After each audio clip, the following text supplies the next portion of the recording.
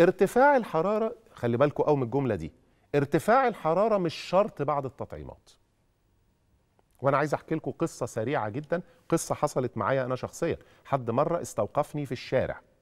قصة يعني حقيقية مش حد حكاها لي. يعني أنا واثق أهو من اللي أنا بقوله. حد وقفني في الشارع وقال لي كان بيسألني يعني على حاجة خاصة بابنه كان مولود كان معاه زوجته يعني ووقفني كده في الشارع والناس يعني أحيانا بتوقفني كده تسألني يعني. تمام؟ فبيقول لي على فكرة يا دكتور آه، أنا ابني واخد تطعيمات بس أنا هروح الأسبوع الجاي بقى أعيدها له كلها. قلت له ثانية واحدة عندك يا عم أنت تعيد- تعيدها له إزاي؟ يعني هو غير مسموح أصلا إنك تعيدها له يعني أنت بتديها فين؟ قال لي لا أنا بديها في مكان خاص يعني في عيادة بتاعت الدكتور. قلت له مش في مكتب الصحة يعني؟ قال لي آه. قلت له آه طبعا ما مكتب الصحة مش مسموح إن إحنا نروح نعيد التطعيم يعني. يعني هم لو في إعادة تطعيم هم اللي بيبقى عندهم السبب يعني هم اللي يقول لك آه تعالى أو بيبقى في سبب وهم بالسبب ده بيقتنعوا بيه وبناء عليه ممكن يعيدوا التطعيم.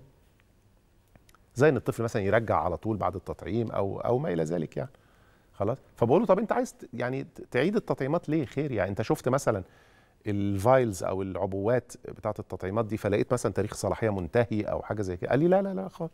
قلت له أمال إيه اللي حصل؟ عايز تعيد تطعيمات ليه؟ اصلها مش بكترها يعني. قال لي اصل قال لي أصل الطفل ما سخنش.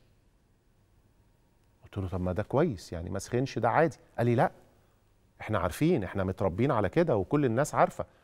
التطعيمات لازم بعديها سخونية.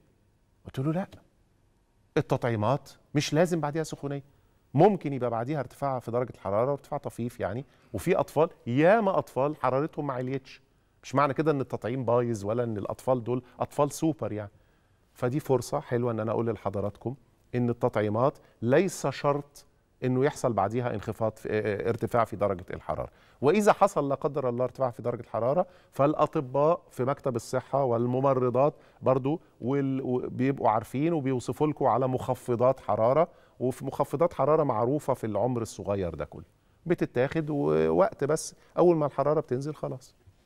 طيب في حال السفر لدول أخرى يعني تلاقوا مثلا ناس الزوج مثلا بيشتغل في دولة معينة أو في مكان معين فتلاقي الأم هنا محتارة تقول لك أنا هنا يا دكتور في التطعيم التطعيمات بيعملوا حاجات غير اللي عندنا.